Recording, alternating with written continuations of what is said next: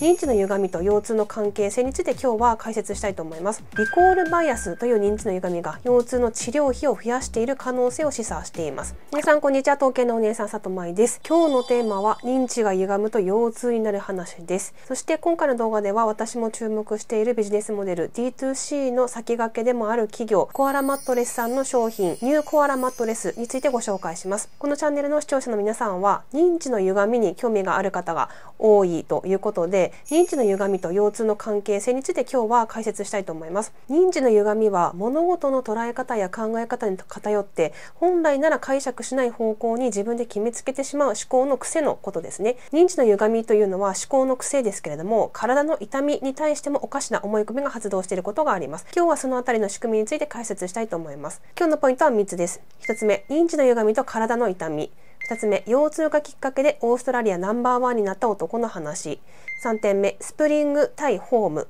これら3点についてデータをもとに解説していきます。まず1点目のトピックです。認知の歪みと体の痛みについてですね。皆さんは腰痛、頭痛、関節痛など体に痛みがありますでしょうか？体の痛みのことを医学用語で疼痛と言います。この腰痛に代表されるような疼痛が認知の歪み、つまり間違った思い込みから来ているかもしれません。2001年のロンドン大学の研究によると、リコールバイアスという認知の歪みが腰痛の治療費を増やしている可能性を示唆しています。まずリコールバイアスというのはですね、過去の経験とか出来事を記憶するとききに事実とは異なる形で記憶が歪められる認知の歪みのことです。これは早期バイアスとも言われたりします。例えば仕事のプレゼンに失敗してしまった経験があったとします。次にプレゼンをしなければいけない時にですね、失敗していることばかり思い出してしまって成功した経験を思い出しにくくなったりするのが早期バイアスですね。もしかしたら成功したプレゼンの回数の方が実際は多いのかもしれないのに、リコールバイアスによってプレゼンで失敗ばかりしてるというように間違った記憶に書き換わってしまうことがあるんですね。でこのリコールバイアスが腰痛などの体の痛みに対しても起こることがあります。例えばこんな感じです。架空の人物である太郎さんの話ですね。太郎さんは3年前に仕事中に腰を痛めてそれ以来慢性的な腰痛に悩まされています。で彼は仕事を続けながら週に1回整骨院に通って痛みを緩和するために薬を服用しています。太郎さんは過去に経験した痛みを思い出すとその痛みがですね実際よりもひどかったと感じています。例えば1年前に感じた腰痛が耐え難いほどの痛みだったと記憶していますけれども実際にはその時の痛みは中程度で通常の活動が可能でした。このような誤った記憶によって太郎さんは痛みが再発するたびにまたあのひどい痛みが来るかもしれないというふうに不安を感じて痛みに対して過剰に警戒するようになってしまいました。このように太郎さんはリコールバイアスによって痛みに対して過剰に警戒するあまりですね。痛みに対する感受性を高めてしまって実際の痛みを強く感じるようになってしまいました。でまた痛みが再発する可能性を過大に見積もることで日常生活であまりこう運動しなくなったりということが起きてですね筋肉の硬直とかストレスが増加してそれが再び痛みを引き起こすというような悪循環に陥ってしまいました。これが認知の歪みであるリコールバイアスと腰痛の関係性ですね。余談になりますけれども腰痛が認知行動療法で改善するということは過去の動画でも話したことがあります。でこれどういうことかと言いますと過去の痛みの歪んだ記憶について痛みを記録したりとか計測したりとかして痛みの記憶を現実的なものとしてもう一度捉え直すというようなことをやるということですね。というわけで厄介な腰痛なんですけれども腰痛の認知の歪みが取れるかもしれない話をしたいと思います。腰痛の悩みをビジネスにして成功した男の話です。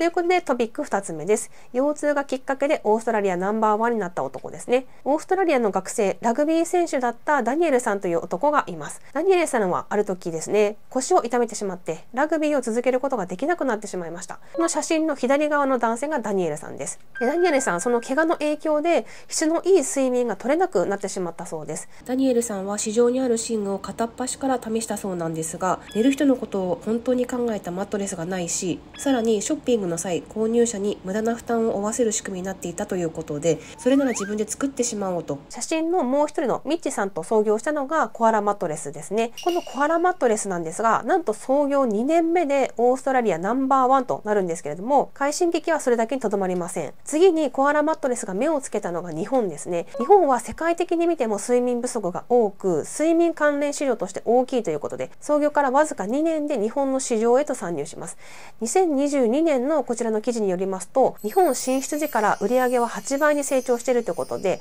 日本でもすごいスピードで成長しているようです。では、コアラマットレスの成長を支える人気の理由について解説したいと思います。で人気の理由1つ目なんですが、衝撃の促進度吸収性ですね。まず全世界でバズったのが、ワイングラスチャレンジと言われるこちらの動画です。ワインを注いだグラスの横で飛び跳ねても倒れないという衝撃的な動画で注目を集めました。振動吸収性の高さから、隣で寝ているパートナーを起こさず眠れるというふうに評判になっていました。そして人気の理由2つ目ですけれども、日本人向けにカスタマイズですね。オーストラリアで誕生したコアラマットレスですけれども、日本に参入するにあたって、日本人の睡眠事情を徹底調査しています。日本人は西洋人よりも固めのマットレスを好み、仰向けになることが多く、夏は湿度が高いことから通気性も求められることが分かっていたためオーストラリアで販売しているマットレスよりも固めに設計されています。さらにこちらのニューコアラマットレスは表面と裏面でですね硬さが変えられるためさらに好みに合うようになっています。硬さが変えられるマットレスってちょっと聞いたことがありませんね。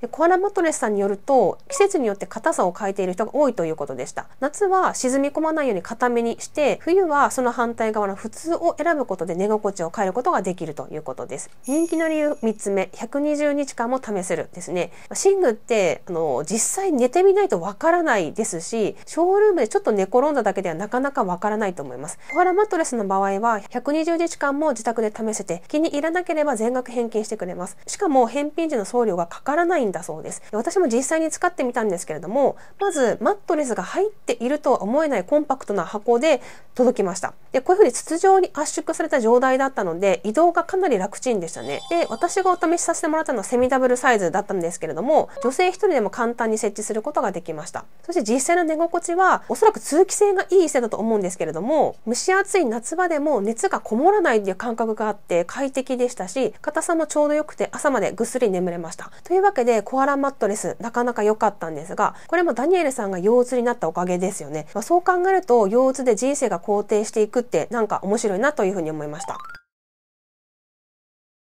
それでは3つ目のトピックです。スプリング対ホームですね。マットレスなんてぶっちゃけどれも同じなんじゃないのという方のために知っておきたいポイントを2つご紹介します。まずポイント2つ目ですけれども、マットレスの素材についてですね。アメリカ睡眠障害協会及び睡眠研究学会が1997年に行った調査で、一般的なインナースプリングマットレスとホーム素材のマットレスが睡眠の構造と周期的交代パターン CAP の割合に与える影響を比較した研究です。CAP というのは睡眠の質と密接に関連するとされる脳波のパターンでして CAP 率が高いと睡眠の質が悪いというふうに判断されます。この研究によりますと睡眠段階や総睡眠時間覚醒回数において2つのマットレスの間には優位な差は見られませんでした。しかし CAP 率はホームマットレスで優位に減少していました。ホームマットレスの方が睡眠の中断が少なくですねより良質な睡眠をもたらす可能性があることを示唆しています。また寝具などを書いた時の初夜効果、まあ、これはですね新しい環境で最初の夜に見られる睡眠の質の低下のことですね。の初夜効果はどちらのマットレスでも見られたんですけれども、ホームマットレスでは初夜効果が少ないということが分かっています。そして2つ目のポイントなんですけれども、寝具が影響を与える年齢についてですね、スタンフォード大学で世界最初の睡眠研究所、スタンフォード大学睡眠生態リズム研究所の初代所長になったウィリアム C. デメンド博士という人がいます。デメンド博士は睡眠負債という言葉を作った人ですね。人のレム睡眠を発見したクライトマン教授という方なんですですが、デメンド博士は大学院生時代にクライトマン教授の弟子として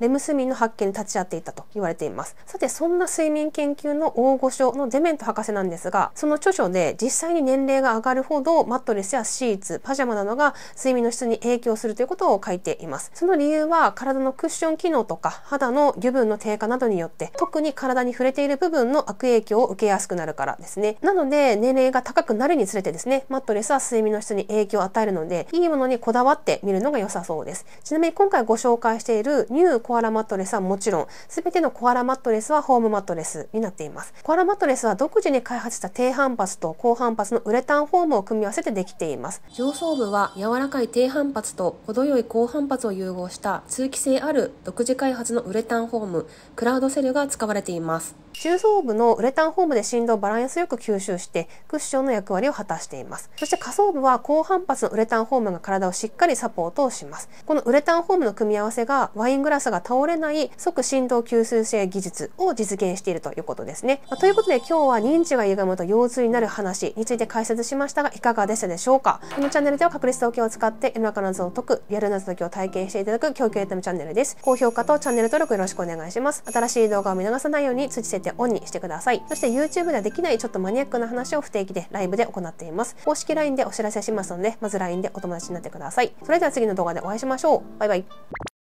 それではここからは里目が先気になっていることとか今後やってみたいことなどをつぶやく里前部分のコーナーでございます。ニューコアラマットレスの実際の映像をご紹介していきたいと思います。はいこんな感じで、えーと、私はセミダブルサイズを使わせてもらってます。めちゃくちゃ持ち運びがしやすくてあのかなりふわふわでしたね。